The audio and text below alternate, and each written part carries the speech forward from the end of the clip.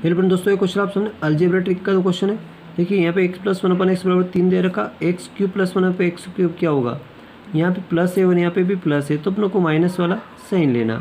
जब ये क्यूब दे रखा तो आपका फार्मूला होगा p cube minus three p p का मान दोस्तों, ये तीन हो जाएगा।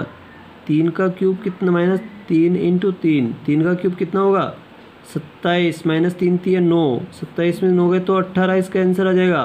डी ऑप्शन राइट आंसर अब आपके सामने प्रश्न है कि एक्स क्यूब माइनस वन अपन एक्स बराबर दो है तो एक्स क्यूब का मान क्या होगा? मैं आपको कुछ बता दूँ, यहाँ माइनस है इंटू यहाँ प्लस है। तो माइनस इंटू प्लस होगा तो यहाँ पे क्या होगा? प्लस वाला साइन लिया जाएगा। अब इस प्रश्न का उत्तर क्या होगा? जरा कमेंट ज़रूर कीजिए दोस्तों।